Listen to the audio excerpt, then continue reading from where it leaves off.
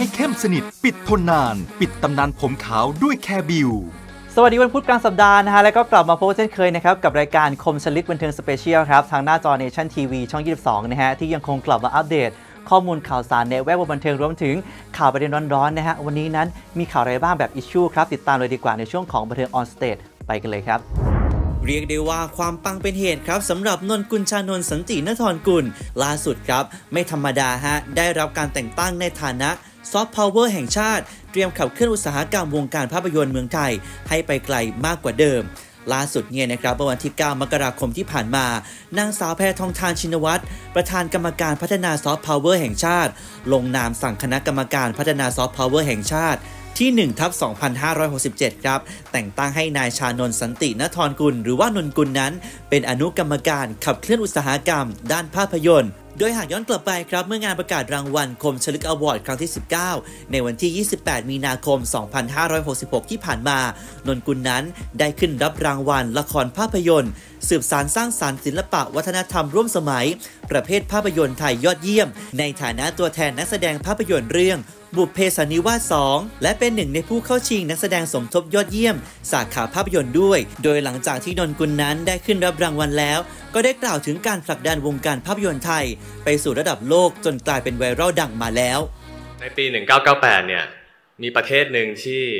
ส่งเสริมคิดจะผลักดันส่งเสริมซอฟต์พาวเวอร์ของประเทศเขาให้ออกสู่ตลาดโลก แล้วประเทศนั้นก็ทำสำเร็จครับ สิ่งที่ผมอยากจะพูดก็คือ ถ้าเกิดว่าสามารถทำได้ อย่างประเทศนั้นแล้วก็ประเทศของเราจะมีวงการบันเทิงที่ดียิ่งขึ้นไปอีกแน่นอนครับ ฝากถึงคนที่มีความรู้ความสามารถและมีอำนาจในการเปลี่ยนแปลง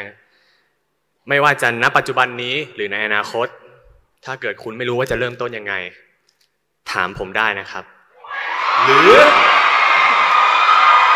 ผมเชื่อว่าถามใคร ทุกคนในนี้ก็ได้ครับเพราะผมเชื่อว่าทุกคนที่นั่งอยู่ในที่นี้ ต้องการจะเห็นวงการบันเทิงไทยไปสู่ระดับโลกให้ได้ครับ ขอบคุณครับ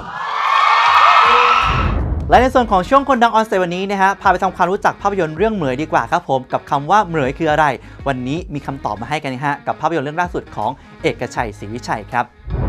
สำหรับคำว่าเมยนั้นก็คือข้อตกลงพันธสัญญานะฮะที่ให้ไว้กับสิ่งศักดิ์สิทธิ์สิ่งเร้นลับที่เราเคารพนับถือครับหรือว่าสิ่งที่เรานั้นศรัทธาตามความเชื่อของคนในพื้นที่นั้นๆครับซึ่งถ้าย้อนกลับไปก็คงลากยาวไปถึงผีปู่ย่าตายายดวงวิญญาณต่างๆครับที่แต่ละบุคคลนั้นได้ยึดเหนี่ยวตามความเชื่อนั่นเองฮะเพราะเชื่อว่าสิ่งเร้นลับเหล่านั้นนี่แหละครับคอยปกป้อง รักษาดูแลให้ความเจริญตามคำขอนั่นเองครับ แต่คำขอเหล่านั้นเนี่ยส่วนมากจะต้องแลกเปลี่ยนกับบางสิ่งบางอย่างเช่นกัน หรือจะให้เข้าใจง่าย ๆ ก็คือ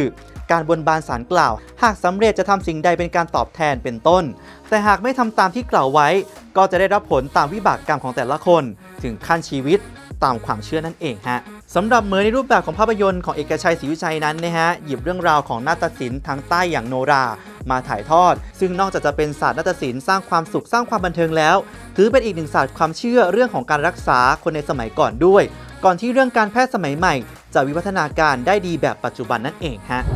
ในวันที่ 25 มกราคมนี้นะฮะ ก็สามารถเข้าไปชมกันได้นะครับผม ในทุกโรงภาพยนตร์ครับ และสำหรับช่วงเวทีคอมบันเทิงวันนี้นะครับผม มาพูดคุยกับพระเอกหนุ่มอย่าง อ่านวดีดีกว่าครับที่นอกจากจะนั่งแท่นเรื่องของนักแสดงพระเอกแล้วนะฮะเจ้าตัวนั้นยังเป็นศิลปินมือกลองอีกด้วยครับแต่เจ้าตัวเปิดเผยครับว่า ในส่วนของการเล่นกลองนะฮะในผับในบาร์นั้นตนเองก็ถูกลวนลามด้วยครับเจอหนักสุดลูกค้าขึ้นมาเวทีเป็นวันเกิดก็เล่นเล่นๆอยู่เสร็จปุ๊บผมก็ตีกลองอยู่กำลัง Happy Birthday to you หันมาปุ๊บจับปากเข้ามาดูดงงไหมงงไหมถึงคุณจะสวยไม่สวยคุณจะหล่อไม่หล่อคุณจะหน้าตาดีไม่ได้มันไม่เกี่ยวกับเรื่องหน้าตา มันเกี่ยวกับเรื่อง การให้เกียรติคือคุณไม่มีสิทธิ์ไปทำอย่างนี้กับใคร คือผมเจอคนหน้าตาดีผมยังไม่กล้าเข้าไปทำอะไรเงี้ย มันก็เหมือนกันคือแบบเป็นเรื่องของมารยาทด้วย จนทุกวันเนี้ยก็ทุกวันนี้ผมผมไปเล่นร้านไหน ผมขอกาบมายืนข้างๆก่อนเลย เที่ยวกันสนุกแบบนี้แล้วนะฮะ ก็อย่าให้มันสนุกเกินไปจนไปล่วงละเมิดคนอื่นนะฮะ ฝากไว้ด้วยครับผม และก่อนจะจากกันไปวันนี้นะฮะ ขอบคุณไปด้วยกับแคร์บิวยืนหนึ่งแคร์บิวที่แคร์ผม แล้วเจอกันใหม่วันพรุ่งนี้นะฮะ วันนี้ต้องขอตัวลาไปแล้วครับ บ๊ายบาย